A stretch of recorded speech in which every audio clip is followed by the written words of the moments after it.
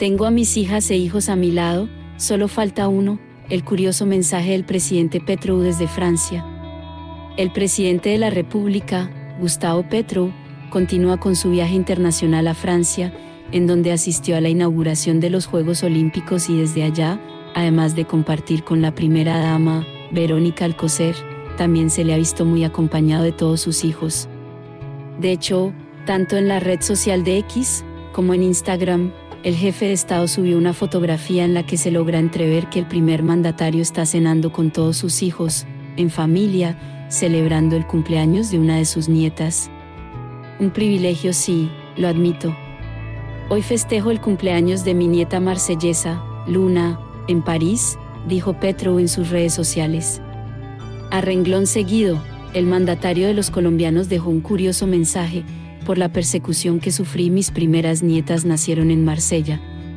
Tengo a mis hijas e hijos a mi lado, solo falta uno. El hijo al que se refiere que hace falta es Nicolás Petro, el exdiputado del Departamento del Atlántico, que está en juicio por posible enriquecimiento ilícito, tras al parecer haberse adueñado de dineros en medio de la campaña presidencial de su papá, el presidente Gustavo Petro. Es de mencionar que la hija del presidente, Andrea Petro, también posteó en sus redes sociales una foto de todos compartiendo en familia.